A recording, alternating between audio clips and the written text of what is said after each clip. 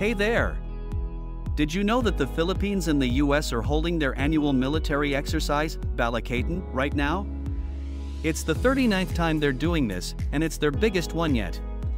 Over 16,000 soldiers from both countries, plus Australia and France for the first time, are training together. They're practicing all sorts of things, from maritime security to cyber defense to information operations. It's all about making sure they're ready to work together to keep the region safe. Balikatan is more than just an exercise, it's a symbol of the strong friendship between the Philippines and the US. It shows that they're committed to working together to protect their shared interests. So, let's give a shout out to the soldiers from both countries who are participating in Balikatan 2024. You guys are awesome.